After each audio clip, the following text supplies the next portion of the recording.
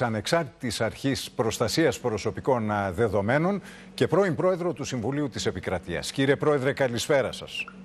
Καλησπέρα κύριε Χατζη Νικολάου.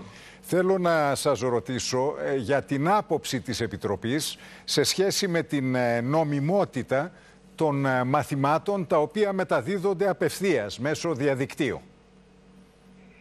Η αρχή προς το παρόν έχει υπόψη της μόνο ένα νόμο, αυτός ο νόμος δίνει τη δυνατότητα αυτής της παράλληλης εκπαίδευσης, την εκπαίδευση δηλαδή για κάποιους και για κάποιους άλλους στη φυσική τάξη. Αυτό η αρχή το θεωρεί πως δεν αντίκειται στην προστασία των προσωπικών δεδομένων. Αυτό που έχουμε δηλαδή είναι νόμιμο. Περιμένουμε όμως και το υπόλοιπο, διότι με το υπόλοιπο θα ολοκληρωθεί η νέα διδακτική μέθοδος. Ποιο είναι το υπόλοιπο, το υπόλοιπο είναι μια υπουργική απόφαση η οποία θα καθορίσει τα μέσα παροχής αυτής της διδασκαλίας της παράλληλης με τη διδασκαλία στην πράξη. Και αυτή η υπουργική απόφαση θα εκδοθεί ύστερα από εκτίμηση αντικτύπου.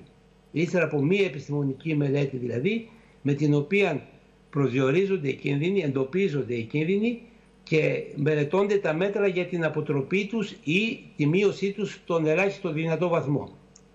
Επομένως, κύριε Πρόεδρε, αντιλαμβάνομαι από όσα μας είπατε ότι οι ενστάσεις ε, της εκπαιδευτικής κοινότητας ή, εν πάση περιπτώσει, μιας ε, της πλειονότητας των μελών της εκπαιδευτικής ε, κοινότητας για την απευθείας μετάδοση ε, μέσω καμερών και διαδικτύου ε, του μαθήματος την ώρα που γίνεται, σας προβληματίζουν ε, μας προβληματίζουν έτσι κι αλλιώς, γιατί έχει και η εκπαιδευτική κοινότητα τα επιχειρήματά της. Αλλά πρέπει να περιμένουμε όλοι και η εκπαιδευτική κοινότητα και εμείς να δούμε πώς θα διαμορφωθεί το πλαίσιο τελικώς αυτού του είδους της τηλεκπαίδευσης. Αν θα υπάρξουν μέτρα δηλαδή για να λιανθούν οι ανησυχίες. Α, ακριβώς.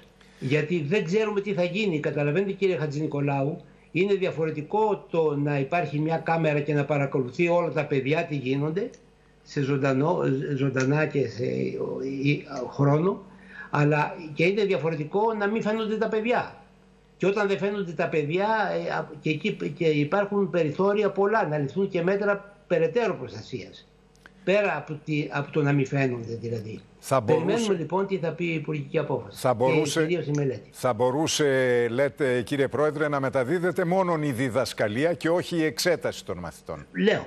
Ένα ναι, ναι. σενάριο, ναι. βεβαίως. Ένα, ένα μέτρο θα μπορούσε να είναι ναι, αυτό. Ναι, ναι, ναι. ναι. Τώρα, ε, ε, πώς, ε, ε, πώς θα σχολιάζατε ε, το αν κινδυνεύει όλη αυτή η διαδικασία να μπλοκαριστεί, να το πω έτσι εντός εισαγωγικών, από το Συμβούλιο της Επικρατείας σε περίπτωση προσφυγής ενός γονέα ή ενός εκπαιδευτικού; Υπάρχει αυτός ο κίνδυνος; Η δυνατότητα προσφυγής στο Συμβούλιο Επικρατείας βεβαίως υπάρχει κατά της υπουργικής αποφάσεως και υπάρχει βεβαίως και το ένδικο βοήθημα της αναστολής. Μπορεί να ζητηθεί δηλαδή αναστολή από το Συμβούλιο Επικρατείας.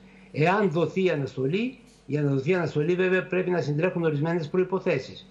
Να πιθανολογείται ότι είναι μεγάλος ο κίνδυνος από την εφαρμογή της υπουργικής απόφασης ή να πιθανολογείται ότι η απόφαση είναι μη νόμιμη να ε, πιθανολογείται ισχυρά ότι η απόφαση δεν είναι νόμιμη. Με αυτό το σενάριο βεβαίως μπορεί να μην εφαρμοστεί. Εάν δοθεί αναστολή από το Συμβούλιο Επικρατείας, διότι το κύριο ένδικο μέσο δεν νομίζω ότι μπορεί να δικαστεί τουλάχιστον μέχρι το τέλος Ιουνίου. Επομένως το κλειδί είναι τα μέτρα που θα λάβει το Υπουργείο Παιδείας προκειμένου να αρθούν οι επιφυλάξεις ε, που υπάρχουν. Σας ευχαριστώ θερμά. Ευχαριστώ κύριε Πρόεδρε. Και E agora?